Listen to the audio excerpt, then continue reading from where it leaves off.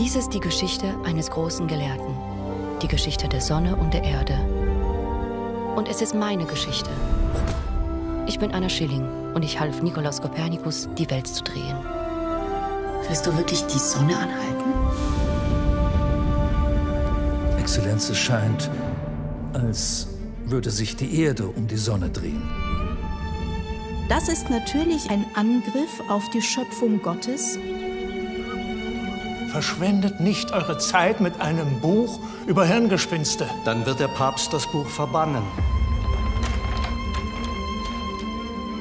Johannes Peträus kann es nicht erwarten, euer Buch zu drucken. Ich will nur meine Berechnungen bestätigt sehen.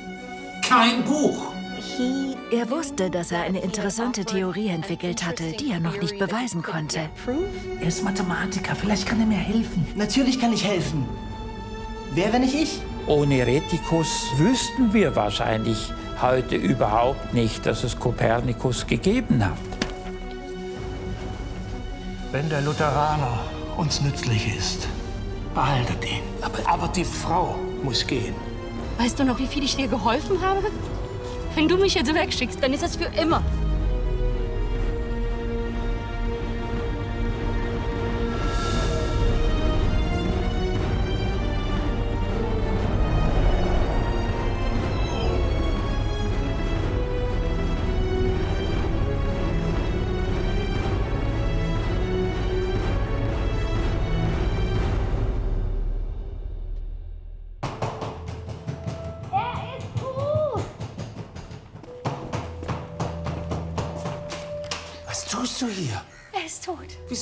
Hier, Anna? Nikolaus, verstehst du nicht? Bischof Färber ist tot. Ja, ich weiß. Ich bin ja sein Leibarzt. Ich, ich meine, ich war. Ich habe alles versucht, Anna, aber es war einfach nicht zu machen. Was machst du da? Ich zieh wieder ein. Wenn dich jemand gesehen hat. Du bist Domherr. Verwalter des Bischofs. Du hast das Recht auf eine Haushälterin, Nikolaus Kopernikus. Anna, du bist wieder zurück. Więc jeżeli zgodzimy się, że to była ta Anna, Als Anna Schilling 1539 in Frauenburg ankam, war sie eine gestandene Frau. Sie war fast w 50 sprawę. Jahre alt, also über zwölf Jahre jünger als Nikolaus Kopernikus. Sie war wahrscheinlich gerade geschieden worden, sodass sie völlig unabhängig war und über ihr eigenes Schicksal entscheiden konnte. ponad 50-letnia.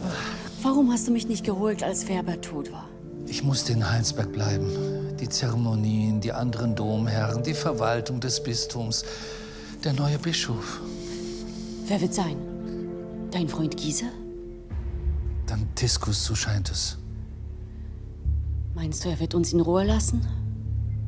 Kein Bischof wird dich je wieder fortjagen. Das verspreche ich dir.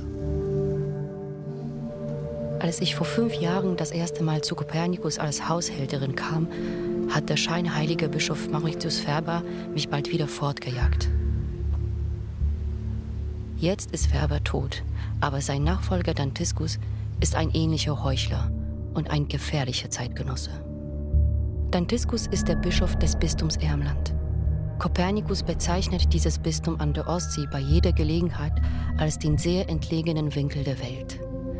Lange Zeit gehörte das Ermland zum deutschen Orden. Inzwischen gehört es zur polnischen Krone. Aber der polnische König ist weit weg. Und so sind die katholischen Bischöfe die Herren im Land. Sie fürchten nur die Gesandten des Papstes. Ich danke euch, mir diese gute Nachricht aus Rom überbracht zu haben. Es schien mir, seine Heiligkeit hat zuallererst meine Geduld prüfen wollen. Zwei Monate lang tappte ich im Zwielicht, ob ich in den Augen Roms dem Amte des Bischofs würdig sei. Hochwürdigster Herr, dem Tüchtigen schenkt die Geduld das Glück. Unser heiliger Vater hat in eure Hände eine besondere Verantwortung gelegt, eine großmütige Entscheidung, die nach Reife verlangte. Hochverehrter Legatius, ich werde keine Mühen scheuen und unserem päpstlichen Hirten in Rom nichts als Zufriedenheit bereiten. Exzellenz, eure Hingabe erfüllt mich mit Freude. Auf welcher Weise gedenkt ihr, euren Beitrag zu leisten? Eine Spende vielleicht? Nichts wäre mir lieber, wohl edler Botschafter, doch im Gegensatz zum Reichtum Roms, ich wage es nicht, euch mit Almosen abzuspeisen. Ihr könntet ein paar Anhänger Luthers enteignen. Ach, in unser entlegenes Bistum hin wird sich dieser Unglaube nicht ausbreiten. Die Strafe vor der Tat scheint mir übereilt. Nun, was habt ihr sonst für die Kirche? Geehrtester Herr und wertester Gast, bestimmt habt ihr gehört vom großen Ruhm des allseits geachteten Nikolaus Kopernikus. Ähm, Nikolaus Kopernikus, sagt ihr. Ich, glaube, den Namen zu kennen. Ein Gelehrter? Genau der. Kopernikus ist einer meiner Domherren zur Gegend Frauenburg. Żadnych ambicji duchownych. e, Kopernikus hatte keine klerikalen Ambitionen. Es ist wahrscheinlich, dass er nur eine niedere Weihe hatte, eine Priesterweihe. Damit konnte er zwar Domherr sein, aber nicht höher befördert werden. Neben seinen treuen Diensten arbeitet der geniale Mann an Berechnungen für einen neuen Kalender im päpstlichen Auftrag. Seit 1500 Jahren gilt in Europa der julianische Kalender. Doch dieser Kalender ist ungenau. Schon im alten Rom wussten die Gelehrten, dass ein Jahr nicht 365 Tage hat. Der Kalender ist für die Kirche sehr wichtig, vor allem wegen des Termins für Ostern. Der Frühlingsanfang wurde beim julianischen Kalender auf einen bestimmten Tag festgelegt. Weil man sich aber nicht darum gekümmert hat, dies genau mit den Jahreszeiten abzugleichen, hat sich der kalendarische Frühlingsanfang im Lauf der Zeit in einer Weise verschoben, dass es religiös problematisch wurde. Man benötigte einen Kalender, der mit dem Frühlingsanfang übereinstimmt, damit Ostern am richtigen Zeitpunkt stattfinden kann. Deshalb hat Papst Leo X. den römisch-deutschen Kaiser Maximilian I. aufgefordert, alle Theologen und Astronomen von bedeutendem Ruf zu bitten, an der Lösung des Kalenderproblems mitzuarbeiten. Der neue Kalender. In allen Landen arbeiten die Gelehrten daran. Das ist für Rom von großer Wichtigkeit. Aber was kümmern uns beide ein paar ungenaue Kalendertage? Ungenaue Kalendertage. Der Kalender gerät aus den Fugen. Bald liegt Weihnachten im Frühling.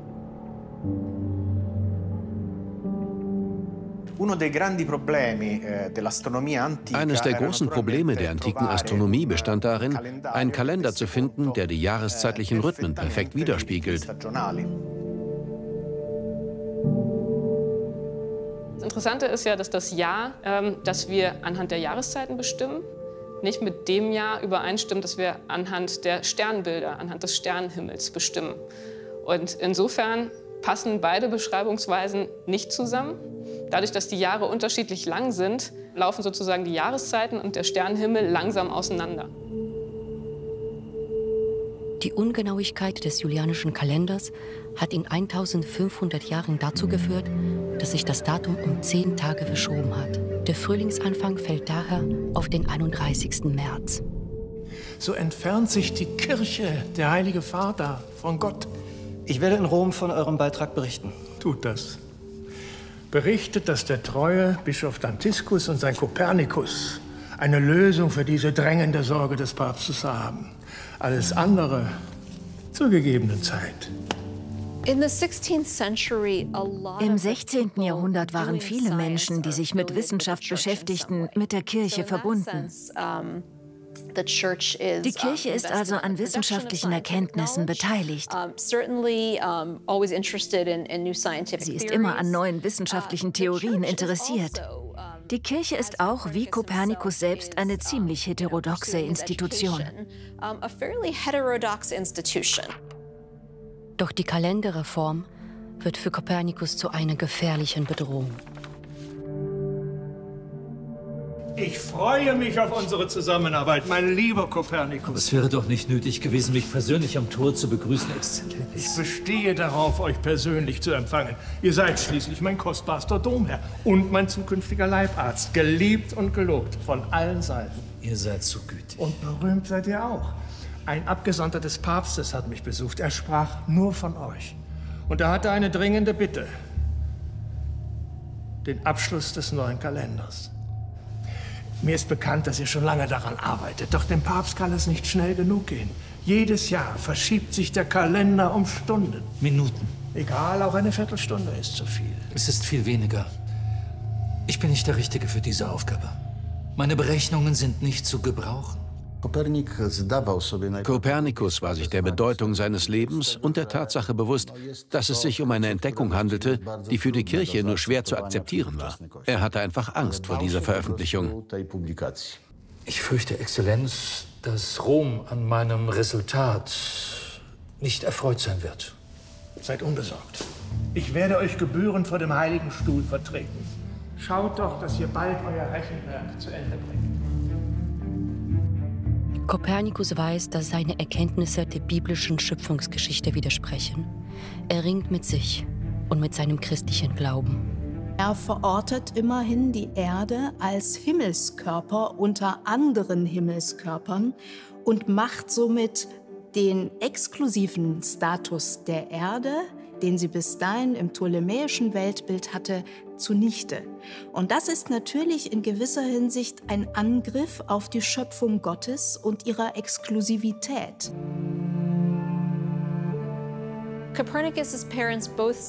Kopernikus Eltern starben vermutlich beide, als er ungefähr zehn Jahre alt war. Er wuchs in Thorn auf. Sein Onkel wurde gerufen, um die Verantwortung für die vier Kinder zu übernehmen. Er sorgte dafür, dass die beiden Jungen ihre Ausbildung fortsetzen uh, konnten. To był dom, który właściwie został podarowany wir befinden uns hier im Haus der Familie Kopernikus, das Nikolaus Kopernikus von seinem Großvater, dem Vater seiner Mutter, geschenkt bekommen hatte. Sein Onkel schickte sie auf die Universität in Krakau. Wenn Kopernikus Eltern noch gelebt hätten, dann hätte er sicherlich in deren Handelsgeschäft lernen müssen. Kopernikus, wenn man sich sein Leben anschaut, war in besten Verhältnissen geboren und aufgewachsen. Also ein reiches Elternhaus, ein Elternhaus, das äh, vielleicht auch in der Kirche im Glauben verhaftet war und äh, auch seine Biografie ja eigentlich prädestiniert war, ähm, große Karriere in der Kirche zu machen. Ähm, Freunde, Bischof, Kardinal, also bestens vernetzt in dieser Zeit. Und glaube ich auch, wenn man das richtig liest, ein, ein hochgläubiger Mensch, der ähm, an die Stellung der Kirche in der Gesellschaft auch glaubte.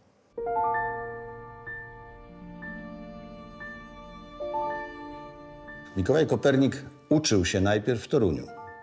Nikolaus Kopernikus besuchte zunächst eine Pfarrschule in Thorn. Danach studierte er an der Jagiellonen-Universität der Krakauer Akademie und anschließend, von 1496 bis 1500, studierte er Jura in Bologna und Medizin in Padua. Natomiast w medycynę.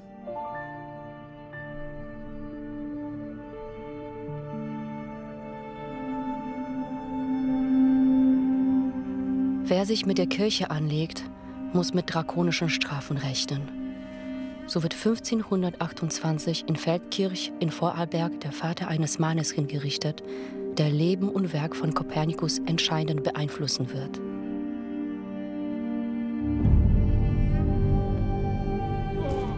Der Arzt und Humanist Georg Iserin wird zum Tode verurteilt, weil er sich angeblich auf einen Pakt mit dem Teufel eingelassen hat.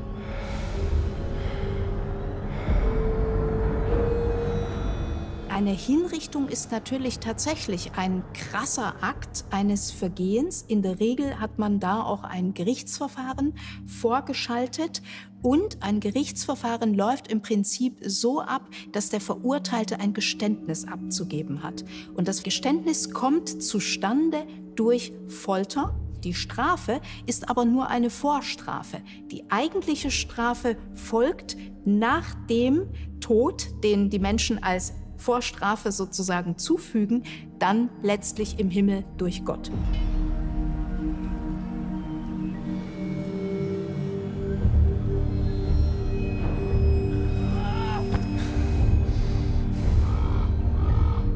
Der Sohn des unglückseligen Georg Iserin ist Georg Joachim Iserin, der sich später Retikus nennt.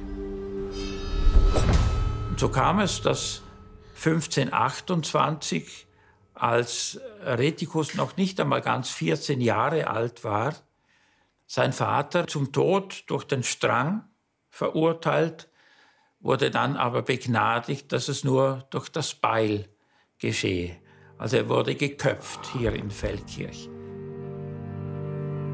Und die Familie wurde dann der Auslöschung des Andenkens unterworfen. Der Name des Vaters durfte nicht mehr genannt werden, weil er sich ja mit dem Teufel eingelassen hatte. Trotzdem darf der Sohn des Hingerichteten in Feldkirch zur Schule gehen. Er lernt Latein und zeichnet sich vor allem durch seine exzellenten Mathematikkenntnisse aus. Retikus ging 1532 an die noch nicht sehr alte äh, Universität in, in Wittenberg und machte dann sehr schnell äh, Karriere, würde man heute sagen, indem er bereits mit 22 Jahren seine Antrittsvorlesung gab. Er ist ein junger Mann, der schon ziemlich bekannt ist. Er ist ein Schüler des Reformators Melanchthon in Wittenberg und bekommt dort eine Stelle als Mathematikprofessor. Redikus muss dann zum ersten Mal gehört haben von diesen Ideen äh, eines Wissenschaftlers im fernen Frauenburg, äh, dass eben die Erde sich um die Sonne drehe und nicht umgekehrt. Und das muss ihn sofort gepackt haben und er wollte unbedingt mehr wissen von Kopernikus. Und so hat er dann zuerst einmal eine Forschungsreise nach Nürnberg unternommen. Nürnberg kennt zu dieser Zeit jedes Kind. Sogar wir in Danzig und im Ermland wissen, dass die Stadt durch Gold, Silber und Metallarbeiten steinreich geworden ist. Und in Nürnberg lebt auch der berühmte Drucker und Holzschnitzer Johannes Petreius. Luther ist ein mutiger Mann. Und er schreibt großartige Reden. Er mag schöne Reden schreiben, aber ihr solltet ihn sprechen hören. Wenn nun aber das Evangelium genug ausgelegt ist, damit es auch jeder Mann versteht. Genug, es reicht, Herr Rikus. Wenn Sie an Wunder glauben, ist es ein Wunder, dass dieser Mann Anhänger findet. Wie? Was immer auch Herr Luther niederschreibt, verkauft sich wie frisch gebacken Brot. Da muss ja was dran sein. Da habt ihr recht. Mich hat er auch zum Lutheraner konvertiert. Mit einer Mathematikprofessur in Wittenberg. Aber macht euch die Kirche nicht das Leben zur Hölle? Die Katholiken sind meine besten Kunden. Je bitterer der Zwist ist, desto mehr verlangt man nach dem Buch. Ja. Jetzt, wo der Pöbel lesen kann, will er nicht als Spektakel. Das hier solltet ihr drucken. Mathematik, Trigonometrie, Astrologie, die ewigen Wahrheiten. Nürnberg ist neben Augsburg einer der wesentlichen Verlagsorte äh, im Alten Reich. Und Petreus ein sehr bekannter Drucker, der eine eigene Intention für Mathematik und Astronomie hatte. Und sich deshalb vielleicht auch die Gelehrten aus diesen Fachbereichen nun mit ihren Schriften bei ihm in Nürnberg gesammelt haben. Das verkauft sich auch in 500 Jahren noch. So lange kann ich nicht warten. Umstritten muss es sein. Ah, da bringt er mich auf einen Gedanken. Habt ihr von einem Nikolaus Kopernikus gehört? Dem Astronomen? Natürlich. Er soll ein Genie gewesen sein. Habt ihr ein Buch von ihm? Ich. Lebt er noch? Oh, Kopernikus lebt noch, ja. Im hintersten Zipfel der Welt. Äh, geduldet euch einen Moment. Bei Petreius liegt seit Jahren ein handgeschriebenes Manuskript. Hier, das hat mir Johannes Schöner gegeben, der Gelehrte. Kopernikus hat das geschrieben als junger Mann. Die Astronomen meinen, es sei das Werk eines Genies oder ein Hirngespenst. Das ist ein Mathematikbuch, das ich drucken würde. Nikolaus Kopernikus. Kleiner Kommentar über die Hypothesen der Bewegung der Himmelskörper, die von ihm selbst aufgestellt wurden.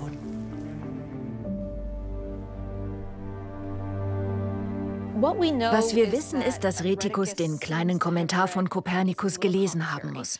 Kein Buch, eher ein Manuskript, das Kopernikus vermutlich um 1514 verfasst hat und informell verbreiten ließ. Das war in den Anfängen des Buchdrucks durchaus üblich.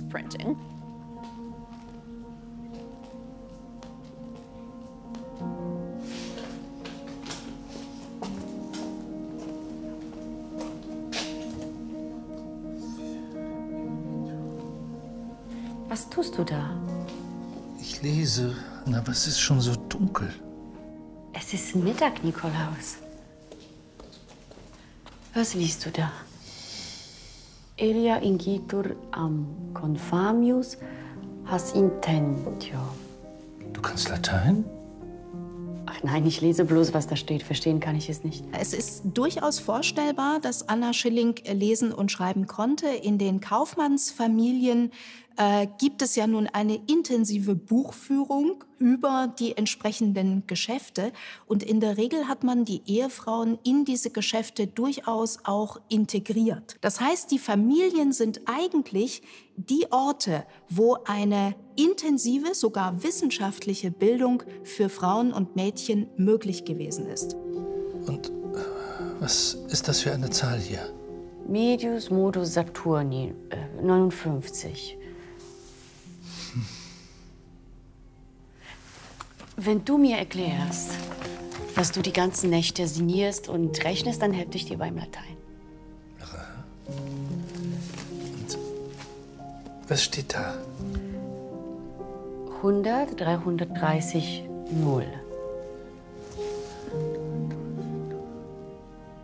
Anna Schilling lebte in seinem Haus als Haushaltsvorstand einer Beschließerin, einer Aufschließerin, die über das Personal gewacht hat, die über das Haushaltsgeld, also die Schatulle gewacht hat und letztlich die Einkäufe, aber auch die Gästebewirtung, die Sauberkeit des Hauses, alles organisiert hat. Ganz sicherlich nicht jemand, der sich selbst hingekniet hat und selbst die Dielen geschrubbt hat. Im 900 Kilometer entfernten Nürnberg beginnt sich ein Mann für Kopernikus zu interessieren, der noch eine große Rolle für uns spielen wird. Macht's gut. Hey, es ist Zeit zu gehen. Ungeheuerlich. Die Sonne steht still. Tut sie nicht. Es wird bald dunkel. Ich muss zu diesem Kopernikus. Ein Buch, sagt er, habe er darüber geschrieben. Leider nein. Nur zu gerne würde ich so etwas veröffentlichen. Wenn er seine Thesen belegen kann, dass die Sonne in der Mitte des Universums steht, wo finde ich diesen Kopernikus? Er lebt im hintersten Zipfel der Welt in Frauenburg. Dahin zu kommen ist gefährlich. Die Reise führt durch die Landen des Deutschordens. Und zum Sterben seid ihr noch zu jung. Da habt ihr allerdings recht. Zu jung, zu klug, ich habe viel vor.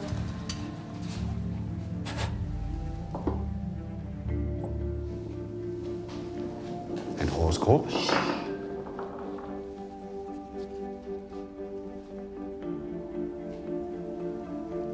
Inviolabilis. Frauenburg, sagt ihr? Dann werde ich dorthin gehen. Ihr seid verrückt. Im besten Fall werdet ihr ausgeraubt, im schlimmsten. In keiner Weise, geschätzter Petrius. Die Sterne haben gesprochen. Gott hält noch seine schützende Hand über mich. Ich bin ihm wohl doch noch zu wichtig. Inviolabilis. Unverwundbar. Mir kann nichts, und zwar rein überhaupt gar nichts widerfahren. Redigus hat die Sprengkraft der frühen Kommentare von Kopernikus erkannt. Er macht sich durch die deutschen Lande auf dem Weg an die Ostsee. Die Reise ist gefährlich. Doch Retikus ist von Kopernikus Ideen fasziniert und fühlt sich durch sein Horoskop gestärkt.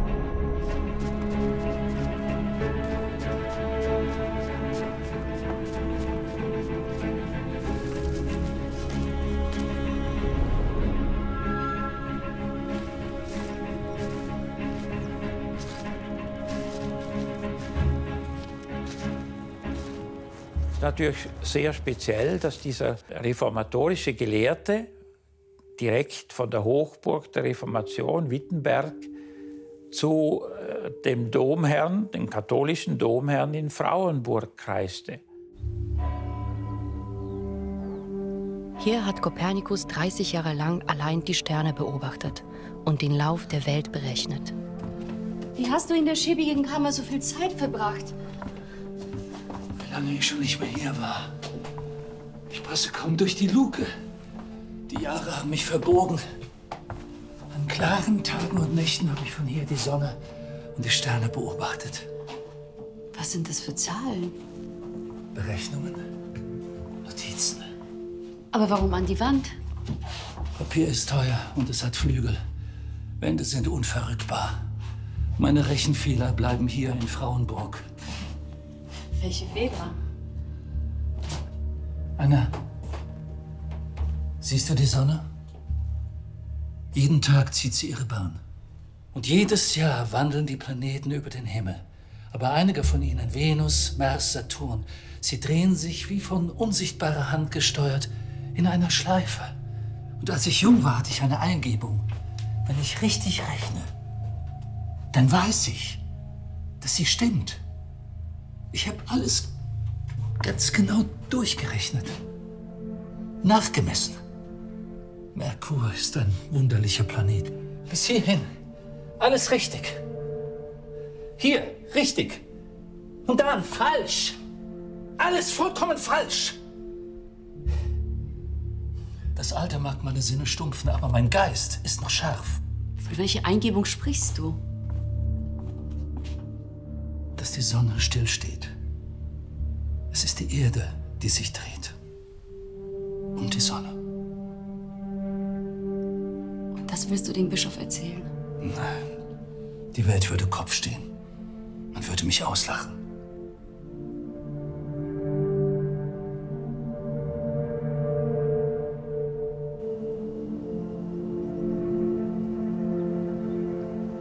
In dieser Zeit war man noch sehr verhaftet in dem antiken Weltbild. In der Vorstellung, die Erde ist Mittelpunkt, umgeben von Himmelssphären, alles in irgendeiner Weise göttlich ordentlich sortiert auf Kreisbahnen. Man sieht aber im Laufe eines Jahres, dass die Planeten vor dem Hintergrund der Sterne weiterwandern, manchmal vorlaufen, stehen bleiben, rückwärts laufen, stehen bleiben, wieder vorlaufen. Und in der Antike war das erklärt worden dadurch, dass die Planeten auf sogenannten Epizyklen laufen, also Kreise auf Kreisen, um dieses zu erklären, um überhaupt die Position der Planeten voraussagen zu können. Und für Kopernikus oder mit, mit seiner Beobachtung, mit seinen Schlussfolgerungen war das äh, Entscheidende zu sagen, er sucht ein einfacheres Modell. Und dieses einfachere Modell war, die Sonne ins Zentrum zu setzen. Denn wenn wir mit der Erde um die Sonne herumlaufen und andere äußere Planeten überholen auf der Innenbahn, dann ist das leicht zu erklären, warum Planeten stehen bleiben, rückwärts laufen, stehen bleiben, wieder in die richtige Richtung laufen. Wenn man sie über Monate und Jahre hinweg am Himmel verfolgt, stellt man fest, dass die Planeten eine seltsame Akrobatik am Himmel vollführen. Sie bewegen sich aufeinander zu und neigen dann dazu, stehen zu bleiben oder sogar umzukehren, was die Astronomen schon lange in den Wahnsinn treibt. Dantiskus, Rom will meine Berechnungen sehen. Was soll ich bloß tun? Den Kalender neu richten sollst du, Nikolaus. Nicht die Welt aus den Angeln heben. Ich kann nicht das eine vom anderen trennen.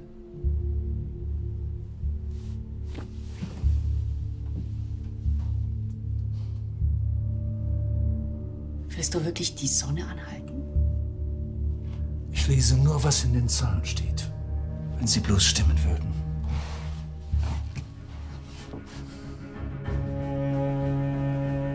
Kopernikus ist ratlos und kommt mit seinen Berechnungen nicht weiter. Noch ahnt er nicht, dass bereits Hilfe unterwegs ist. Doch Retikus Reise ist düster und gefährlich.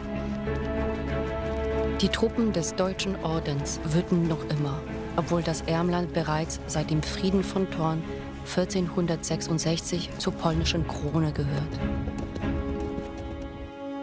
Bei uns in Frauenburg ist es friedlich. Es scheint mir, dass es jedes Jahr heißer wird. Erinnert mich an Italien. Du hast nie viel von Bologna erzählt. Wie sieht es dort aus? Und wie können die Menschen bei dieser Hitze überhaupt etwas lernen? So genau kann ich mich nicht mehr erinnern. Ich habe viel studiert. Du willst mir nicht sagen, dass du die Universität nie verlassen hast. Wir haben die Sterne beobachtet. Das geht nur nachts. Und diskutiert, gelernt. Tagsüber habe ich oft geschlafen. Ich würde auch gerne nach Italien gehen, um zu studieren. Es würde dir bestimmt gefallen.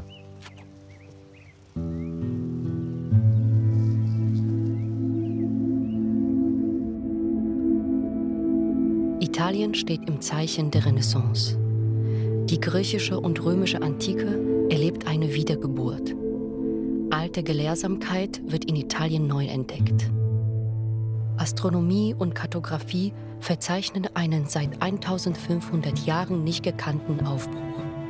Erste moderne Weltkarten entstehen und der Blick richtet sich auf immer fernere Welten im All. Wissenschaftler sind Universalgelehrte.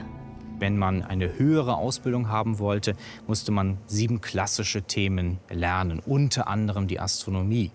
Wir können also davon ausgehen, dass in, diesen, ähm, in dieser Zeit ähm, jeder, der studierte, auch ein fundiertes Grundwissen, eine fundierte Allgemeinbildung zum Thema Astronomie hatte.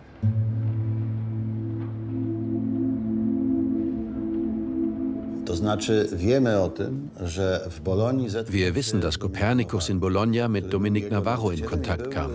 Navarro war sein Lehrer und ein hoch angesehener Professor für Astronomie und Astrologie. Wahrscheinlich sind damals die Grundlagen der heliozentrischen Theorie, die sogenannten Kommentare, entstanden.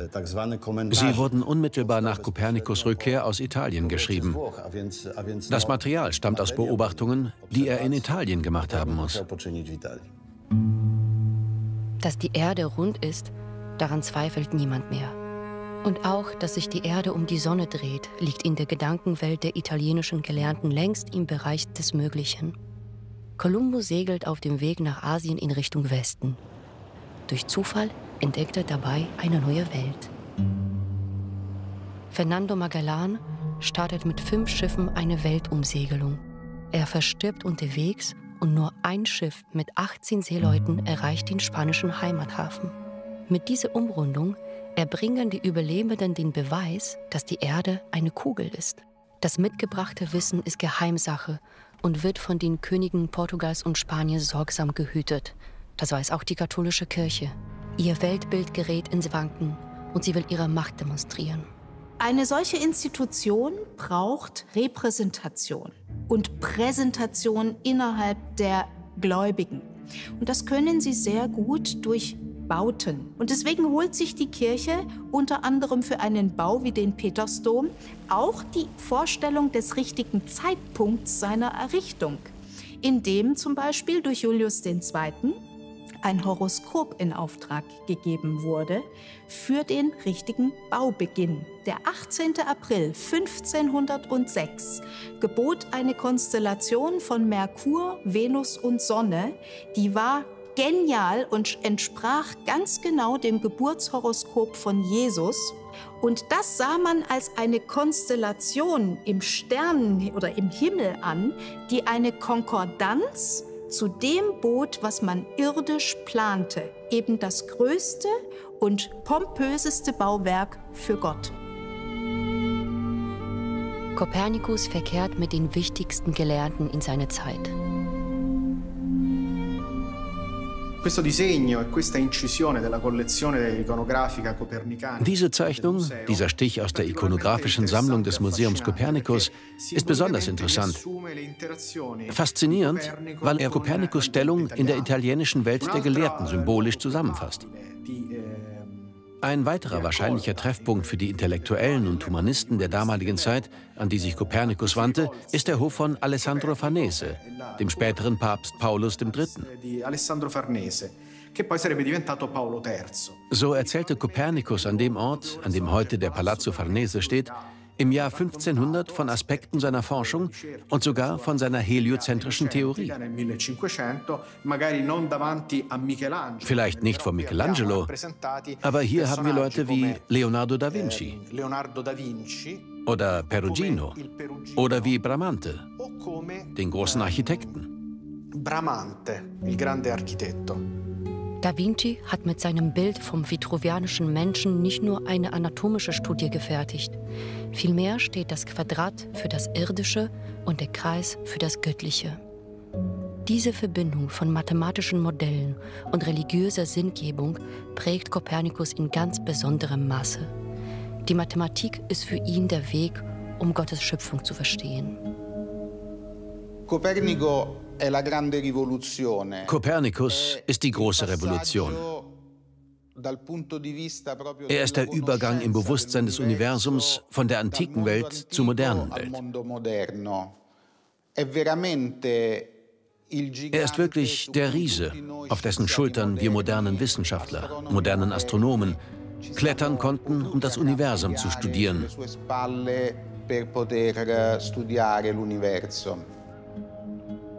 Aus den Zentren der italienischen Renaissance geht Kopernikus zurück in unsere Provinz. Nach seiner Rückkehr nach Polen ließ sich Kopernikus in Heilsberg nieder, der Residenz seines Onkels, Bischof Lukas, und blieb dort wahrscheinlich bis 1510. In dieser Zeit war er Sekretär des Stadtrats. 1510 wird Kopernikus Domherr in Frauenburg. Nachts widmet er sich seinen astronomischen Studien. Kopernikus hatte nach seiner Rückkehr nach Polen eigentlich keinen Kreis von Menschen, mit denen er seine Arbeit diskutieren konnte. Er war vor allem ein Mann, der zur Einsamkeit verdammt war. Allein und auf sich gestellt wächst in Kopernikus die Angst vor der Kirche. Es gibt Zensur insofern, als der Papst einen Index führt der verbotenen Bücher und wer auf diesem Index landet, der erhält ein Schreibverbot, möglicherweise auch Kerkerhaft. Sehr häufig ist das Ganze mit Flucht ins Ausland verbunden.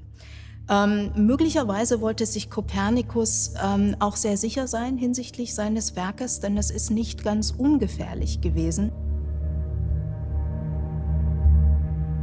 Kopernikus verzweifelt immer mehr, weil er sich die Fehler in seinen Berechnungen nicht erklären kann.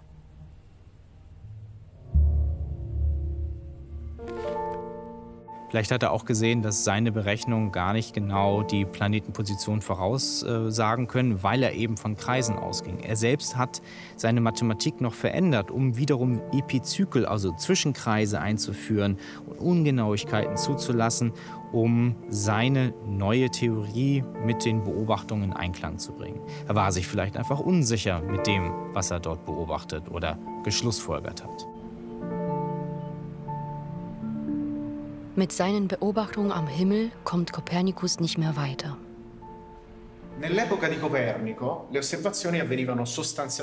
Zu Kopernikus Zeiten wurden Beobachtungen im Wesentlichen mit dem bloßen Auge gemacht. Eh, es waren Vermessungen des Himmels und es waren Messungen von Winkeln. Unser Astronom benutzte Holzinstrumente. Es sind im Grunde Visiere, durch die man die Sterne beobachtet und auf diese Weise ihre Höhe über dem Horizont und auch ihre gegenseitigen Entfernungen von einem Stern zum anderen bestimmt. Man konnte Winkel messen und mit dieser Skala konnte man bei richtiger Ausrichtung die Höhe des Sterns über dem Horizont und die Entfernung zwischen den Sternen bestimmen.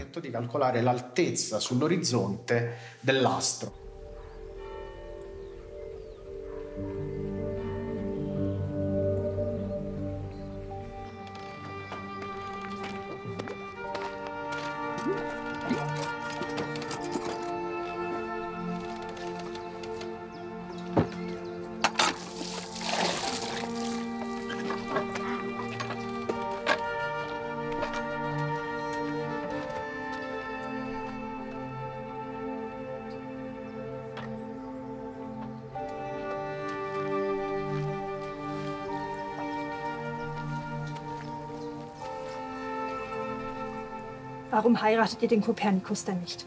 Es ist ja nicht verboten. Die Kirche würde ihn in das am weitesten entfernte Bistum versetzen. Außerdem habe ich bereits eine Scheidung hinter mir. Das reicht mir vollkommen. Eine Ehe ist grundsätzlich ähm, in der Frühneuzeit, auch im Mittelalter, dient einem einzigen Zweck, dem Erhalt der Menschengattung letztlich dem Erhalt der Familie, das heißt also um Nachkommen zu zeugen. Wenn sich herausstellt, dass also sozusagen ein Teil der Ehepartner impotent zeugungsunfähig ist, dann kann letztlich die Ehe eigentlich ja zu diesem Zweck, zu dem sie geschlossen wurde, nicht vollzogen werden.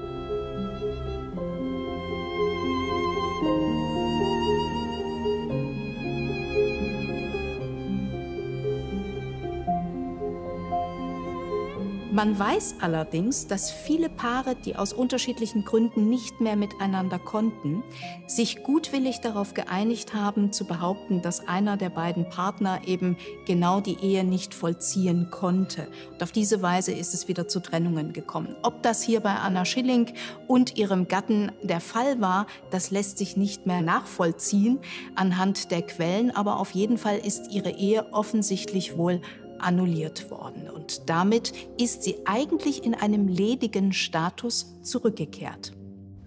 Wie lange dauert das noch? Wir sind fertig für heute. Das meinte ich nicht. Wie weit seid ihr mit euren Berechnungen? Schon vor Wochen wolltet ihr mir etwas zeigen. Wolken. Was sagt ihr? Wolken vor den Sternen, Nebel vor der Sonne. Ich kann einfach nicht sehen. Ich sehe, dass ihr mich hinhaltet. Ihr habt neue Kleidung.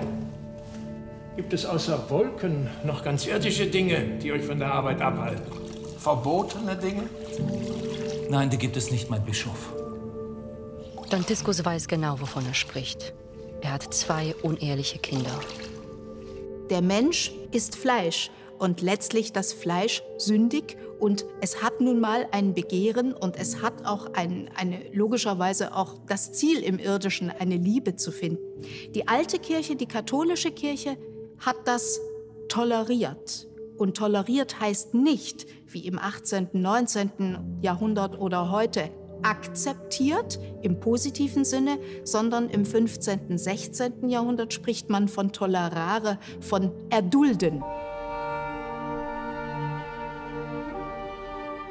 Noch lässt Antiskus uns in Ruhe, aber es soll nicht so bleiben. Vier Wochen benötigt Retikus für den Weg von Nürnberg nach Frauenburg.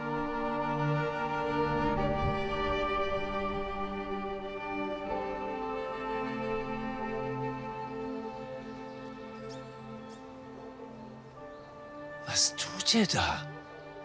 Runter mit euch! Seid ihr Kopernikus? Wer seid ihr? Retikus mein Name. Mathematiker, Professor.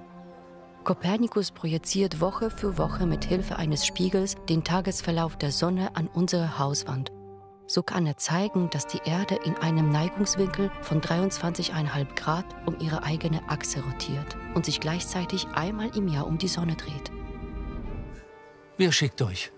Und hier habt ihr den Stand der Sonne aufgezeichnet, um die Neigung der Erde zu berechnen.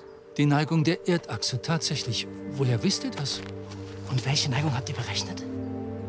Das Ergebnis muss noch verbessert werden. Sique terram pluribus mortibus ferri. Die Erde hat mehr als eine Bewegung. In eurem Büchlein steht, dass die Erde um die Sonne kreist. Ja. Eine Idee, niedergeschrieben im Leichtsinn unbekümmerter Jugend. Ähm, ich habe sie nicht weiter verfolgt. Nein? Die Zahlen sind ungenau. Die Berechnungen entsprechen nicht meinen Beobachtungen. Vielleicht braucht ihr die Hilfe eines Mathematikers. Was meint ihr damit? Ich bin weit gereist. Es ist bald Nacht und ich sollte unterkommen. Wollt ihr mich nicht einladen? Einladen? Im Gegenzug könnt ihr meine Formelbücher benutzen. Formelbücher? Der Almagest. Das wichtigste Buch der Astronomie. Eine neue Übersetzung aus dem Griechischen. Nun, denn ihr könnt gerne mein Gast sein. Danke, Herr Kopernikus. Wie war euer Name nochmal? Georg Joachim Retikus. Ich denke, Kopernikus hat die Revolutionibus 30 Jahre lang nicht veröffentlicht, weil er wusste, dass er eine interessante Theorie hatte, die er noch nicht beweisen konnte. Er wusste, dass noch mehr Arbeit zu leisten war und dass es sowohl physikalische Probleme gab, als auch Konflikte mit der Bibel.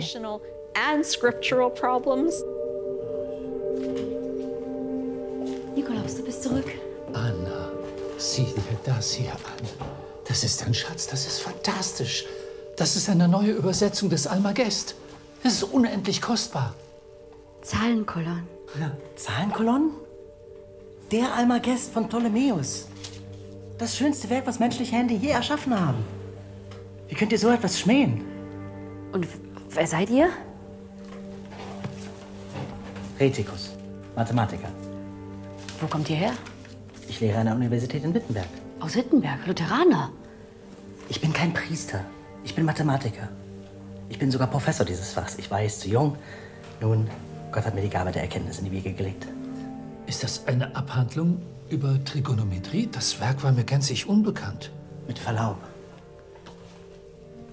Ich bin selbst ein exzellenter Kenner der Gesetze des Dreiecks und ihrer Anwendung. Mhm. Mhm. Kopernikus, ja? ich muss mit dir sprechen.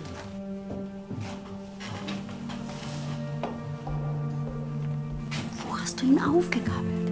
Ist er wirklich Lutheraner? Er stand auf einmal vor der Tür und offenbar ist er tatsächlich von Wittenberg den weiten Weg hierher gereist. Den Grund für die Strapaze habe ich auch nicht verstanden. Aber du weißt, was Dantiskus von den Lutheranen hält. Wenn er hier bleibt, kann er wegen Ketzerei verhaftet werden. Anna, ich kann ihn doch nicht davon jagen. Draußen ist es schon finster. Außerdem sind wir auch Christen.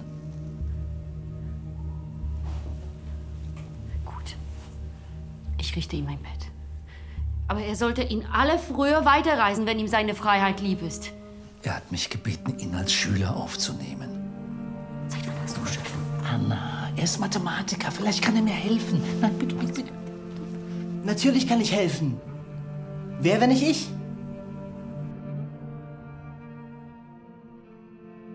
Drei Monate hattet ihr mir versprochen.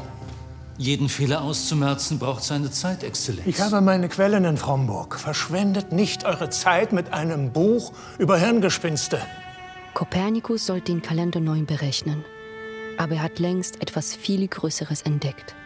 Die Erde dreht sich um die Sonne. Ein gefährlicher Gedanke, den Kopernikus nur wenigen anvertraut. Mein Ergebnis lautet 23 Grad und ein halbes. Das ist auch mein Resultat. Ist das ein Wettrennen? Nein, ich. Ich kann euch das nicht erklären. Es ist zu kompliziert. Hohe Mathematik. Lasst mich raten. Ihr berechnet beide auf verschiedenen Wegen und vergleicht die beiden Ergebnisse. Wenn ihr übereinstimmt, liegt ihr richtig. Ja. Für eine Frau seid ihr sehr gebildet. Für einen Professor seid ihr recht dumm, eure Gastwirten zu beleidigen. Verzeiht meine Unbedachtheit. Kopernikus hatte schon vieles niedergeschrieben, aber es war einfach noch nicht in eine Form gebracht, wo man das hätte veröffentlichen können. Und der junge 25-Jährige, damals eben aufgetaucht beim 67-Jährigen, hat ihn eben dazu gedrängt, sein Manuskript noch so weit zu bringen, dass man es drucken könnte. Was habt ihr mit diesen 23 Grad vor? 23 Grad und ein halbes. Wir vergleichen das Resultat mit unseren Beobachtungen. Kopernikus hat hunderte von diesen angestellt. Aha, und wenn Beobachtung und Rechnung übereinstimmt? Das beweist, dass Kopernikus Ideen und meine Rechnung richtig sind. Ihr hattet recht. Eure Methode ist viel genauer. Das war doch nur ein einfaches Beispiel. Bringt doch mal etwas richtig Schwieriges. Warum berechnen wir nicht gleich die Bahnen von Venus und Mars? Fantastisch. Auf die kopernikanische Revolution blicken die Menschen aus vielen Gründen zurück. Sie hat unseren Blick auf den Kosmos völlig verändert. Bevor Kopernikus um das Jahr 1500 veröffentlichte, lebten wir in einem endlichen Kosmos, in dem die Erde im Mittelpunkt stand und sich alles in perfekten, unveränderlichen Kreisen um sie herum bewegte. Es gab eine absolute Zweiteilung zwischen dem Bereich der Erde mit Veränderung, Wachstum und Verfall und dem Bereich des Kosmos, in dem Dinge unveränderlich sind und sich in dieser perfekten, kreisförmigen Symphonie in festen kristallinen Kugeln bewegen. Das war das Universum, das für die Menschen Sinn ergab. Hier ein Meilenstein der Mathematik, nämlich die ersten trigonometrischen vollständigen Tabellen der Geschichte von Retikus. Das war dann die Grundlage für alle Winkelberechnungen bis Mitte des 20. Jahrhunderts, eigentlich bis zu den Anfängen der Raumfahrt. Tag und Nacht sind Kopernikus und Retikus am Messen und Berechnen. Kopernikus ist verzweifelt, denn ihre Berechnungen stimmen mit den Beobachtungen nicht überein. Der größte Irrtum Kopernikus lag daran, dass er annahm, Planeten würden sich auf perfekten Kreisen um die Sonne herum bewegen. Dadurch gab es auch Rechenfehler, dadurch gab es Ungenauigkeiten in seinen Vorausberechnungen, denn Planeten laufen auf Ellipsen. Wenn sie dichter an der Sonne sind, laufen sie schneller, wenn sie weiter weg sind, laufen sie langsamer.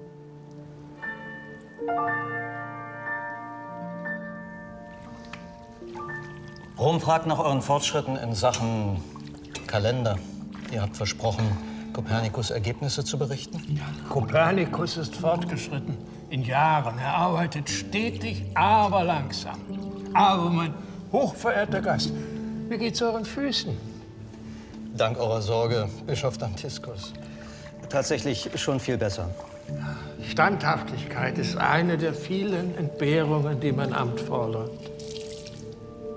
Ist nicht Standhaftigkeit die wichtigste Tugend? Die Recht ihr habt, Legatius. Die Mauer und das Grundwerk der kirchlichen Moral. Wie ihr sagt. Hat nicht die Kirche große Geduld gezeigt mit der menschlichen Schwäche? Die Güte der Kirche ist unermesslich. Und ist strenge, nicht ein Bruder der Geduld. Klug erkannt, werter Legatius. Und haben nicht wir die Pflicht, streng vorbildlich ja, zu leben? Absolut. Und der Ketzerei der Lutheraner Einhalt zu gebieten? Wie wahr? Was werdet ihr also gegen die Anhänger Luthers unternehmen, Bischof Dantiskus? Wie, was meint ihr? Was ist mit Lutheranern? Wir sprachen von Kopernikus. Auf dessen Ergebnisse wir immer noch warten. Ein gut gemeintes Angebot, aber die Zeiten werden rauer. Bischof, Rom wünscht, dass wir im Kampf gegen die grassierende Ausbreitung der Anhänger Luthers unseren Pflichten als Priester nachkommen. Dantiskus ist ein Lebemann. Wo Venus und Bacchus ihr köstliches Feste bereiten, lasse ich mich gerne nieder, verkündet er vollmundig in einem seiner Gedichte. Das eigentliche Ziel ist ja aber, irdisch ein Vorbild zu sein. Dass die alte Kirche, wie man sie später nennt, die katholische Kirche, genau dieser Pflicht nicht mehr nachgekommen ist, das sehen wir letztlich an Luthers Kritik, der ja vom Saufen und vom Huren sprach. In ganz Europa heißt es, wir tun alles, um die Protestanten einzudämmen. Auch bei uns, im hintersten Winkel des Ermlandes. Die Bischöfe werden von Rom dazu verdonnert, ein vorbildliches Leben zu führen. Die köstlichen Feste mit Venus und Bacchus sind vorbei. Wie eine göttliche Drohung kommt eine Dürre über das Land. Die Hitze bringt alles auf Erden zum Stillstand. Kein Tropfen Regen monatelang. Die Sonne brennt. Es scheint, als ob der Himmel Kopernikus für seine Entdeckungen verhöhnen will.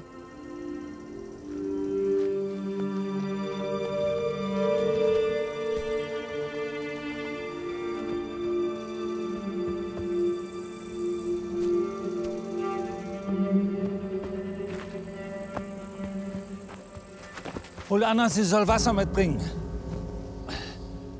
Wann hat er zuletzt getrunken? Es ist gut. Zum Glück nichts Schlimmes. Es geht ihm schon besser. Helft ihm auf. Helft ihm auf. Hoch mit ihm. Es ist zu heiß. Du musst mehr trinken. Geh nach Hause. Halt dich von der Sonne fern. Nehmt ihn mit. Geht. Geht. Ist gut. Argwohn und Misstrauen verbreiten sich unter den Menschen. Ist das die Strafe Gottes? Offenbar hat es über elf Monate praktisch nicht geregnet.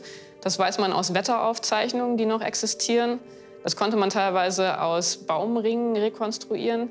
Also eine ganz, ganz ungewöhnliche Wetterlage, die Europa in eine enorme Katastrophe geführt hat. Es gab kein Wasser mehr, die Flüsse führten kein Wasser. Es gab natürlich enormen Hunger. Irgendwann kamen dann die Feuerwellen, die Wälder haben angefangen zu brennen. Das Leben der Menschen wird auf eine harte Probe gestellt. Es herrschen große Not und Unsicherheit. Werden Sie auch bei Kopernikus und mir die Schuld suchen? Sei vorsichtig, Nikolaus, die Leute reden. Worüber denn? Sie suchen den Schuldigen. Sie haben genug zu reden. In der Regel hat die Kirche das als Strafe Gottes gewertet, als wiederum spiegelbildliches äh, Reagieren Gottes auf die Verderbtheit der Welt, also auf den Frevel der Menschen, ihre Lebensführung, ihre Vergehen und ähnliches. Auch Retikus kann sich der erdrückenden Situation nicht entziehen. Es ist neue Nahrung für seinen Aberglauben. Immer wieder befragt er seinen magischen Kreisel, an den er seit seiner Kindheit glaubt.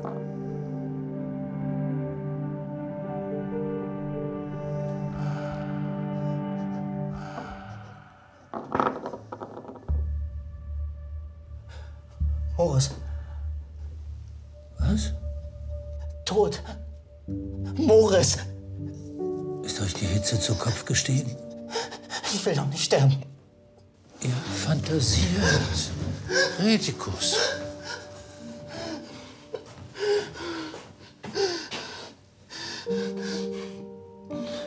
Ihr habt Fieber. Das ist kein Fieber. Ihr müsst euch nur ausruhen. Ich werde sterben. Der Kreisel.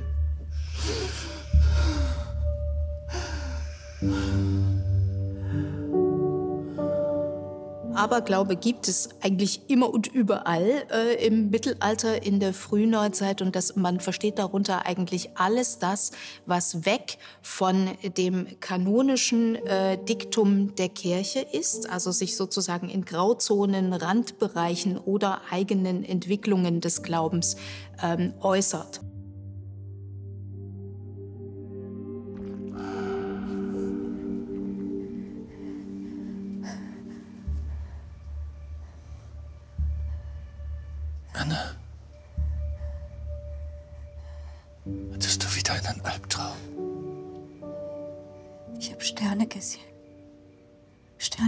Als die Sonne.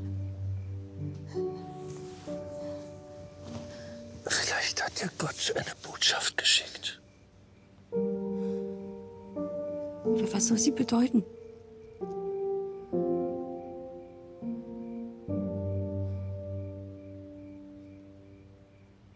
Kopernikus hat als Teil seiner Lehre unter anderem geschrieben, dass die Fixsterne unbewegliche Sterne seien und sie seien viel, viel weiter weg als die Erde von der Sonne. Die Fixsternsphäre, aber die letzte Sphäre wäre, bevor die Sphäre anfinge, wo Gott und die Engel seien. Damit haben wir klare Angaben dessen, wo Gott wohnt, eine Adresse des Paradieses. Und das ist das Gefährliche, was letztlich für die Kirche zum Aberglauben wird, zum Aberglauben stilisiert wird, weil es quasi alternative Zugänge zu Gott ermöglicht.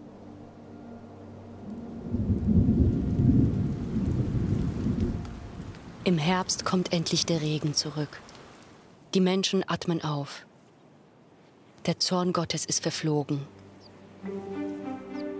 Die mathematischen Berechnungen von Retikus werden immer genauer und stützen die astronomischen Erkenntnisse von Kopernikus.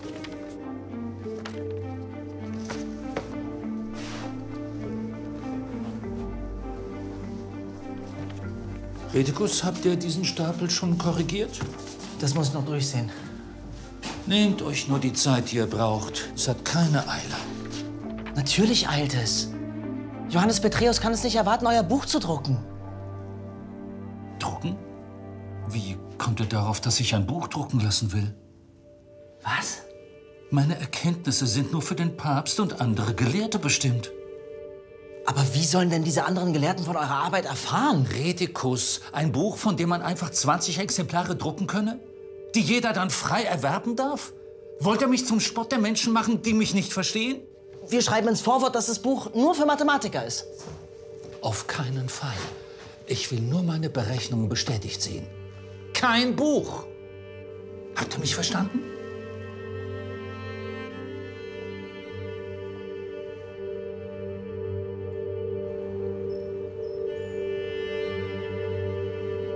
Kopernikus wird von Tag zu Tag nachdenklicher.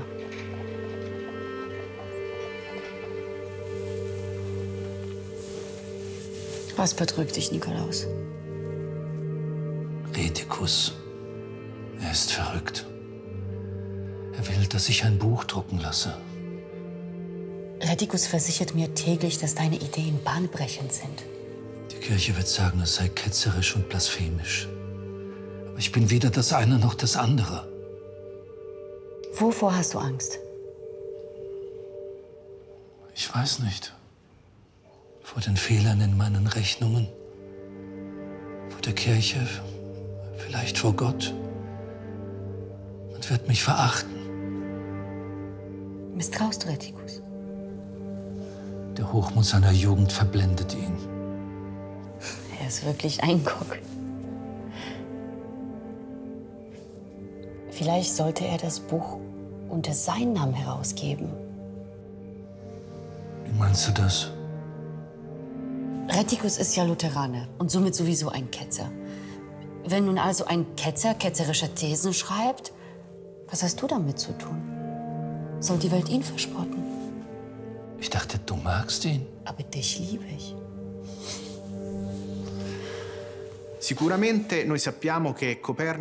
Wir wissen mit Sicherheit, dass Kopernikus ein sehr religiöser Mensch war und nie unorthodox gelebt hat. In dieser Zeit war die protestantische Reformation in vollem Gange. Aber er hat sich nicht der Reformation angeschlossen. Er war sehr orthodox in seinem Glauben. Kopernikus ist ein frommer und wunderbarer Mensch. Es ist die glücklichste Zeit meines Lebens. Doch bald schon ziehen die nächsten Wolken auf. Da ist eine Haushälterin, die keine nahe Verwandte ist. Ich mag eure Schwäche geduldet haben, doch die Zeiten ändern sich. Bevor ihr euch ausflüchtet, Nikolaus Kopernikus, noch etwas. Da sei ein Lutheraner in Frauenburg. Ein seltsamer Bursche, eitel, und bunt gekleidet und man munkelt, er wohne bei Kopernikus. Exzellenz, ich habe mir erlaubt, einen Assistenten einzustellen, der mir bei den Berechnungen für den Kalender hilft. Wisst ihr, was Ketzern droht, die in unser Bistum kommen? Exzellenz, er ist Mathematiker. Die Religion interessiert ihn nicht. Hier ist mein Angebot. Ich brauche Resultate für Rom. Ihr wollt eure Haushälterin behalten. Wenn der Lutheraner uns nützlich ist, behaltet ihn. Aber, Aber die Frau muss gehen. Nehmt eine alte Magd. Ich bitte euch. Ich will nichts mehr hören. Von mir aus könnt ihr die Frau danach wieder ins Haus nehmen. Aber Exzellenz! Wir haben eine ganze Reihe von Briefen, die Dantikus an das nähere Umfeld von Kopernikus geschrieben hat. In diesen Briefen geht es immer darum, dass er darauf drängt, dass Kopernikus sich von äh, dieser Haushaltsgehilfen äh, äh, trennen solle. Ja, er spricht tatsächlich von äh, Skrotum, Hure, ähm, mit einer Frau einließe und zu geheimen äh, Treffen zusammenkäme, um Unzüchtigkeiten zu begehen. Das ist die Gesamtausgabe aller Briefe und Urkunden von Kopernikus, die wir finden konnten und die ediert und in Übersetzung, das heißt also einerseits Latein und auf der anderen Seite auf Deutsch vorliegen. Und das ist die Ausgabe, mit der die Forschenden, die sich mit Kopernikus und seinem Werk bzw. seiner Nachwirkung, seiner Rezeption beschäftigen, heutzutage arbeiten eigentlich das wichtigste Quellenmaterial, was wir Historikerinnen und Historiker überhaupt haben.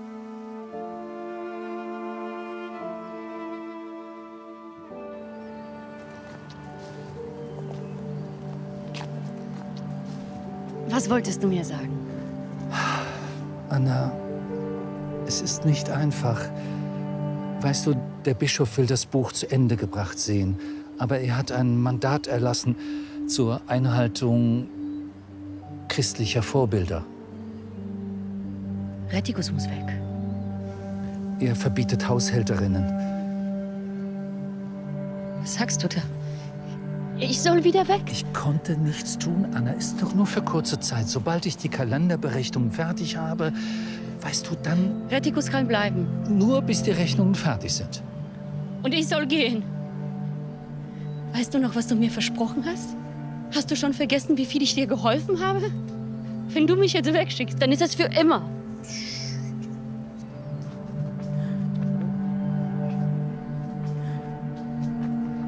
Es ist doch nur für Nikolaus, kurze Zeit. Ich weiß nicht, was deine Arbeit für die Welt bedeutet. Aber ich weiß, was die dir bedeutet. Ich werde nach Danzig gehen, aber nicht wegen des Bischofs. Damit du dein Werk vollenden kannst, das dich so lange geplagt hat. Anna. Meine Schwester hat in Danzig einen angesehenen Kaufmann geheiratet. In deren Haus kann ich leben. Kopernikus sich entschieden hätte zu heiraten, dann hätte er seine Ämter als Domherr, seine Pfründen, seine Einnahmen, aber natürlich auch sein Amt als Administrator, seine Tätigkeit, wenn Sie so wollen, seine Arbeit, aufgeben müssen und aus dem Kirchendienst ausscheiden müssen. Und das hätte für ihn natürlich einen materiellen Verlust, aber auch einen Statusverlust bedeutet. Kopernikus bleibt im Dom von Frauenburg und arbeitet wie ein Besessener. Er will sein Werk vollenden. In den Zeiten vor 500, 600 Jahren war es vielleicht so, dass sie ihr gesamtes Leben geforscht, gesammelt, Daten gesammelt haben und die Schlussfolgerungen erst zum Ende hin veröffentlicht haben. Über 30 Jahre arbeitet Kopernikus an seiner Theorie. Er kämpft mit seinen Zweifeln und mit seinem Glauben.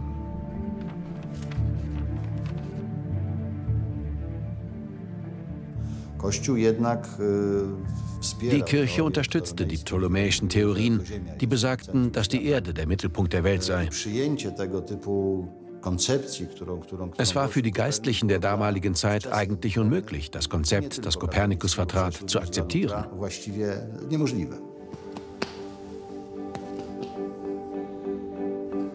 Euer Körper ist gesund, Exzellenz. Es sind die Gedanken bloß, die euch Leiden bereiten.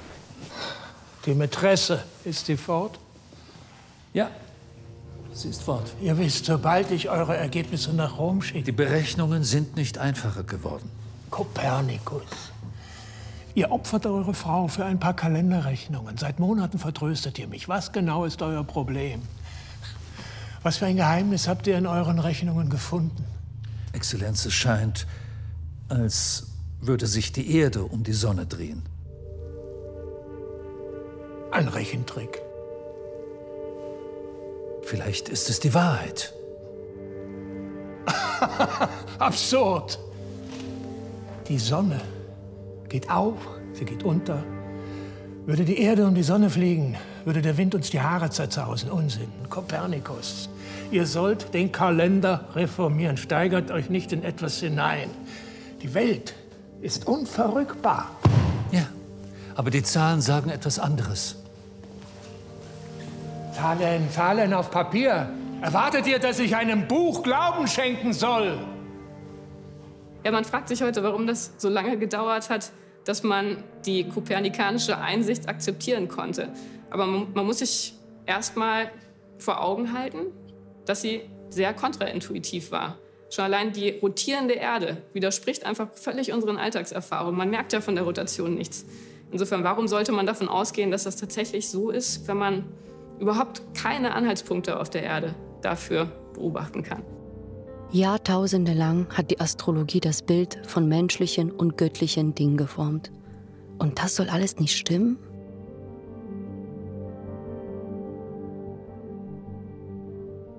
Wenn wir uns alte Aufzeichnungen anschauen, dann ist es ja so, dass äh, wir Menschen wohl schon immer fasziniert waren von dem Blick in den Sternenhimmel. Wir immer versucht haben, ja, äh, Muster zu erkennen, zu, er, zu ergründen, was wir dort am Himmel sehen. Ob das Sternschnuppen waren, Kometen waren, Polarlichter, Sonnenfinsternisse. Und wir immer versucht haben, das, was am Himmel passiert, mit den Ereignissen auf der Erde in Einklang zu bringen. Kopernikus versteht die Welt besser als jede andere. Doch die Deutungshochheit über Himmel und Erde beansprucht die Kirche für sich.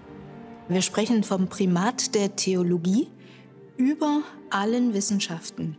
Jede andere, sei es die Mathematik, die Physik, die Astronomie, die Astrologie, das sind alles nur letztlich dienende Wissenschaften, die aber niemals äh, einen Zugang zu Gott, einen Weg zu Gott in irgendeiner Form beanspruchen dürfen. Es sind erkennende Wissenschaften, Wissenschaften, die auf Beobachtung beruhen, aber sie können letztlich niemals eigentlich eine eigene Deutung vornehmen, sondern sie arbeiten letztlich immer nur der Theologie zu.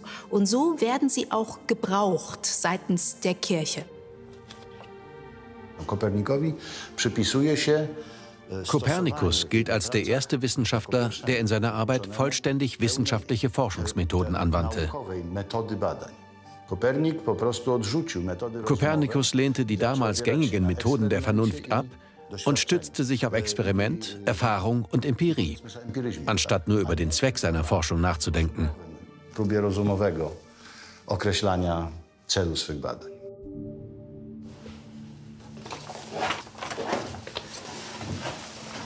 Schluss mit der Rechnerei. Wir wissen genug. Die Zeit ist jetzt. Lasst uns zum Drucker gehen. Die Kirche wird das Buch verbrennen. Vielleicht. Aber drucken müsst ihr es trotzdem. Das Manuskript ist bereit. Ein paar einführende Worte noch. Eure Anna hatte doch einen guten Vorschlag. Lasst mich ein kleines Traktat in meinem Namen schreiben. Ich werde euer Buch ankündigen. Das hat sie euch gesagt? Natürlich. Eine ausgezeichnete Idee. Wir werden sehen, ob die Gelehrten mich auslachen. Das wollt ihr wirklich tun? Euren Namen riskieren? Ich riskiere nichts. Ihr bringt die Menschen ein kleines Stück näher an die Wahrheit. Und ich helfe dabei. Ich gehe nach Danzig. Wie, Danzig? Dort gibt es eine Druckerei. Wartet! Könntet ihr vielleicht nach Anna sehen? Sie lebt bei ihrer Schwester. Glaubt ihr, sie wird einen Ketzer empfangen?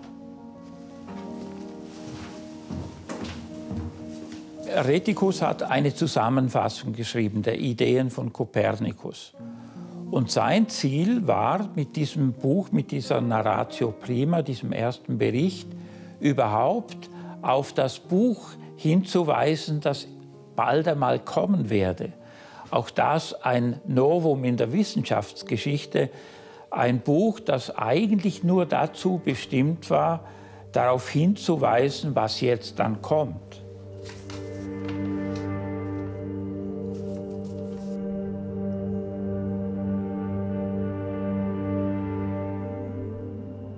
Nach einem Jahr bekomme ich einen Brief und erfahre, dass Nikolaus einen Schwächeanfall hatte. Ich mache mich auf dem Weg nach Frauenburg. Ist er mit seinem Werk vorangekommen?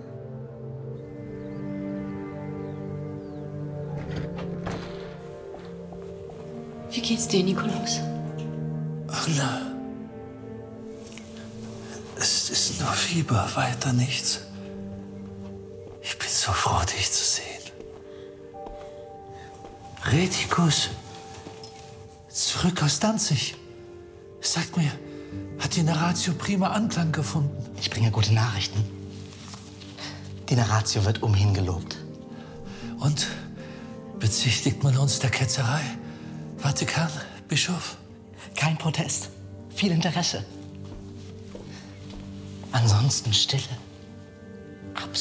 Absolute Stille. Ist das nicht herrlich? Dann wird alles gut. Wirst du bleiben, Anna? Ja, der Ketzer hat mich überredet. Ich habe ihm zu danken. Peträus wartet jetzt auf das Manuskript von Kopernikus.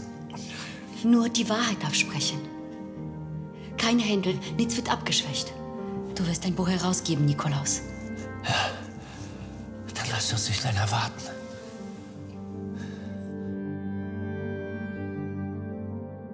Dieses Buch ist sehr gut aufgenommen worden, denn es musste schon ein Jahr danach eine zweite Auflage gedruckt werden. Und das hat sicher Kopernikus auch beflügelt, an äh, seinem Manuskript weiterzuarbeiten und es zur Druckreife zu bringen.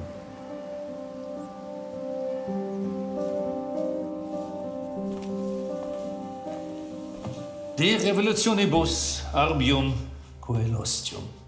Über die Umlaufbahn der Himmelsfern. Ich stehe auf ewig in eurer Schuld. Ich in eurer. Denn ihr wart nicht nur der beste Lehrmeister, den ich mir hätte wünschen können. Ihr nahmt mir auch die Angst vor einem frühen Tod. Leb wohl. Und gebt mir Acht auf euer Gepäck. Ich werde es hüten wie meinen Augapfel.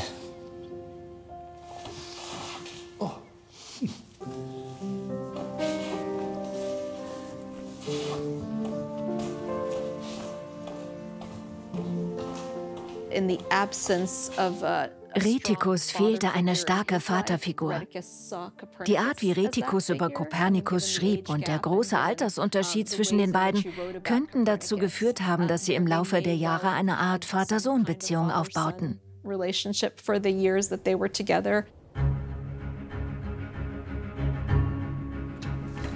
Endlich hat Kopernikus gewagt, sein Buch De Revolutionibus Orbium Celestium über die Kreisbewegungen der Himmelskörper zu veröffentlichen. Das Werk wird in Nürnberg bei Petreus gedruckt.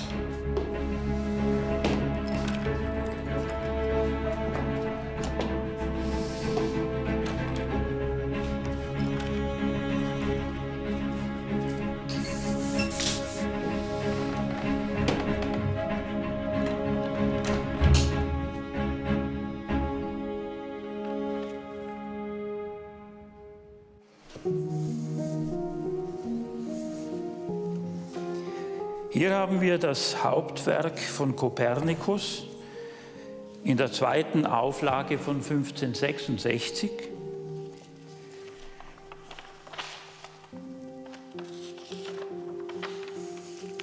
Mit diesen berühmten Bildern, den konzentrischen Kreisen der Planetenbahnen rund um die Sonne.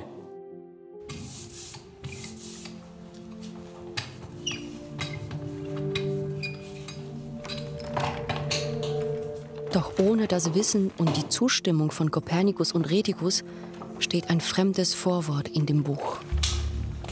Wie könnt ihr es wagen? Dieses Vorwort war nicht Teil des Manuskripts. Das Bild ist weder wahr noch falsch. Jahrelang haben wir daran gearbeitet. Ich werde euch verklagen. Ich habe genau das gedruckt, was mir aufgetragen wurde. Und woher kommt dann dieses Vorwort? Petreus war sich sehr wahrscheinlich im Klaren, dass äh, das Verlegen von Kopernikus Manuskript De Revolutionibus ein brisantes äh, Manuskript war. Und ähm, es ist unklar, wie das Vorwort Osianders zu diesem Werk zustande gekommen ist. Es ist durchaus möglich, dass der Verleger zu Osiander, dem Reformator von Nürnberg und einem hoch angesehenen Theologen, gegangen ist und ihn um ein Vorwort gebeten hat. Man holt sich also eine theologische Autorität, die diesem Werk nichts Gefährliches bescheinigt. Und das ist dann für den Verleger auch im Prinzip eine Art Blankoschein. Dieses Werk kann also gelesen werden. Ich denke, Osiander äh, wollte quasi etwas beschwichtigen, weil er eben meinte, diese Lehre widerspreche der Bibel. Das, und das sei eben, wenn man das nur so als Hypothese, als geometrische Hypothese darstelle, dann komme es da, äh, besser an.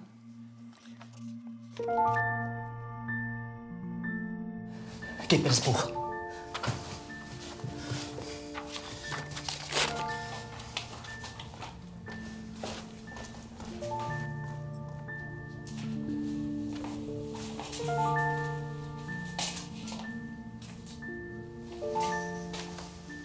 Ich halte das Vorwort von Osiander für den Kommentar eines Theologen gegenüber einem mathematisch-astronomischen Werk. Das ist in dem Sinne keine Abwertung, aber eine Einordnung. Und eine Einordnung, die nochmal ganz klar sagt, dass die Theologie die alleinige Deutung beansprucht und alles andere wieder nur als eine hinführende, eine flankierende oder eine unterstützende Wissenschaft sein kann. So viel Lärm um einen Haufen Papier. Unverständlich, unlesbar. Die Gedankenkapriolen eines alten Mannes am Rande der Welt.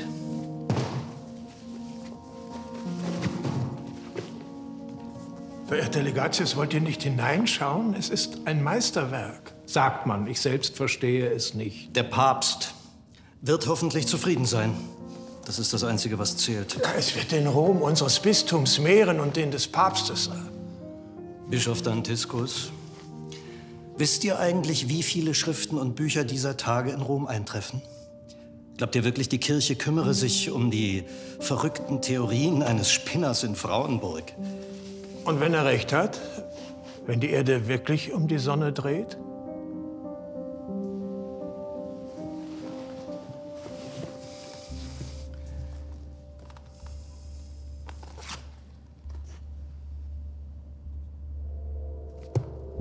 Dann wird der Papst das Buch verbannen.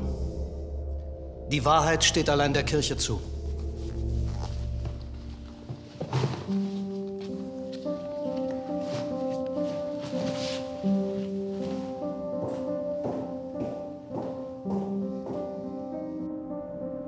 Die Kirche will die Wahrheit nicht anerkennen. Doch langfristig löst Kopernikus Werk eine Revolution aus. Der Wittenberger Mathematiker und Astronom Erasmus Reinhold, ähm, der hat äh, Kopernikus als den neuen Atlas bezeichnet. Atlas ist aus der Mythologie ein Titan, der die Erde, die Welt auf seinen Schultern trägt. Und der neue Atlas nun, Kopernikus, der hat die Welt neu positioniert, neu verortet, innerhalb letztlich des Kosmos. Und auf diese Weise ähm, haben wir natürlich eine, eine wirklich kritische Position. Die Welt ist nicht mehr als die Krone der Schöpfung etwas Exklusives, auf das alles zugeht, sondern die Erde ist letztlich neben Merkur oder der Venus eben einer der Himmelskörper.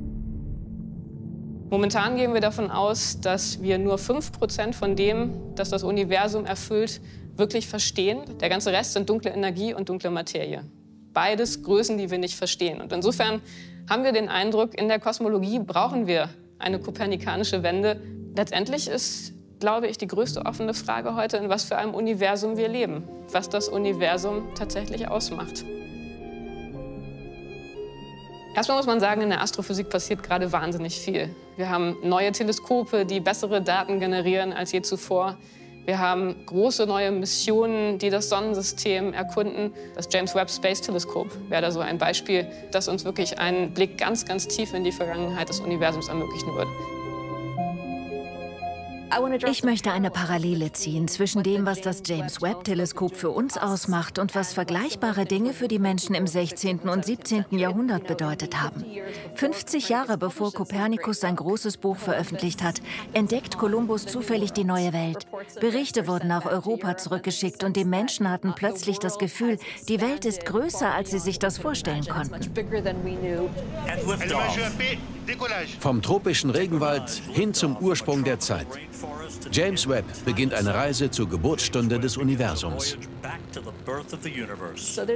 Diese geografischen Reisen haben also einen Ruck in der öffentlichen Vorstellungskraft ausgelöst, der vielleicht auch Menschen wie Kopernikus inspiriert hat, größer über den Kosmos zu denken, als sie es zuvor getan haben.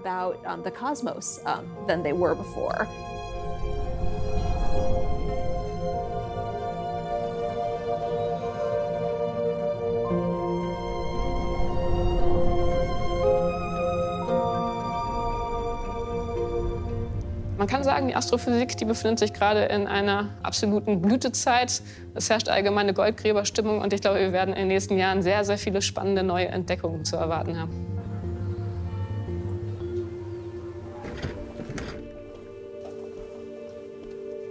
Nikolaus, es ist vollbracht.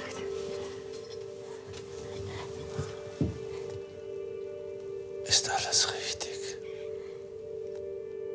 Ich weiß es nicht. Aber man sagt, du wirst die Welt für immer verändern. Lies mir vor.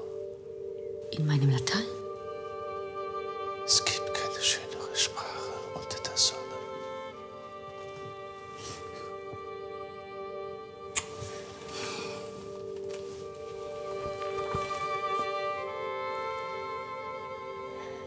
Inter multa aquaria literarum artimque studia quibus usco minum ingenia vegetatur e brasipea aplecteda existo sumoque pro secunda studio che in rebus pulserimis et sintu dignismis versantur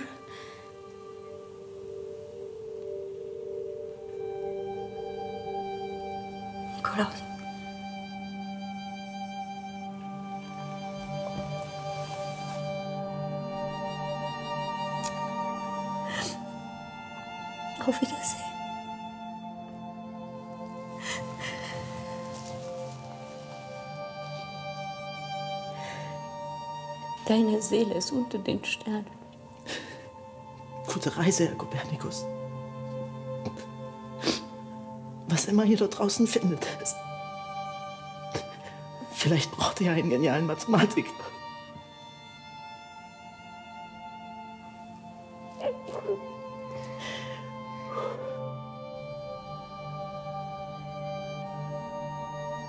Nikolaus Kopernikus verstirbt 1543 in Frauenburg. Sein Name wird unsterblich. Über den Verbleib seiner Überreste herrscht lange Ungewissheit. Was gerne vergessen geht, er hätte sein Werk nicht mehr zur Druckreife gebracht und veröffentlicht, wenn dieser junge Mann da nicht bei ihm äh, erschienen wäre, 1539. Also wüssten wir wahrscheinlich heute überhaupt nicht, dass es Kopernikus gegeben hat, wenn Retikus nicht bei ihm gewesen wäre. Das haben dann spätere äh, Astronomiegeschichtler haben das dann so formuliert, ohne Retikus kein Kopernikus, ohne Kopernikus kein Kepler, ohne Kepler kein Newton. Es dauerte lange, bis die Ansicht von Kopernikus allgemein akzeptiert wurde. Und bis 1610 war es immer noch die Ansicht einer Minderheit, weil viele jetzt von der Theorie von Tycho Brahe überzeugt waren. Nach dem Gerichtsverfahren gegen Galileo und neuen Erkenntnissen, die die Theorie von Kopernikus immer wahrscheinlicher machten, findet seine Idee immer mehr Zuspruch. Ich würde sagen, um 1650, also 100 Jahre nach De Revolutionibus, hat sich das Blatt gewendet. Endgültig aber stand die Öffentlichkeit erst 1687 mit der Veröffentlichung der Newtonschen Gesetze auf der Seite von Kopernikus. 1582 reformiert Papst Gregor VIII. den Kalender und streicht einmalig zehn Tage, im gregorianischen Kalender ist die Ungenauigkeit des julianischen Kalenders durch einen Kniff beseitigt. In einem Zeitraum von 400 Jahren fallen jeweils drei Schalltage weg. Der Kalender stimmt damit, doch gleichzeitig hebt Kopernikus das päpstliche Weltbild aus den Angeln. Erst waren wir im Mittelpunkt des Universums. Alles drehte sich um uns. Die kopernikanische Wende hatte als, ähm, als Ergebnis, dass die Erde bis in einen Rand rückte, plötzlich die Sonne im Zentrum war. Mit dem nächsten Jahrhundert haben wir rausgekriegt, die Sonne ist nicht im Zentrum. Die Sonne ist ein Stern unserer Milchstraße. Wieder später haben wir rausgekriegt, die Milchstraße ist nur ein Teil der lokalen Gruppe, eines riesigen Galaxienhaufens und wir stehen gar nicht in keinster Weise im Zentrum des Universums. Gerade wenn man im Planetarium steht, ist das so ein bisschen das, was man ja lernt. Alles ist so riesig, ich bin so klein hier auf der Erde. Aber vielleicht ist diese Erde der einzig bewohnbare Ort im gesamten Universum. Wir sind die einzigen vielleicht im gesamten Universum, die sich über Schönheit, Einmaligkeit, Kunst, Kultur Gedanken machen. Ich war bei der Entdeckung von Kopernikus Geheimnis dabei. Sein Werk geht als kopernikanische Wende in die Geschichte ein. Ich bin stolz darauf, ihn begleitet zu haben. Und damit geht auch meine Geschichte zu Ende.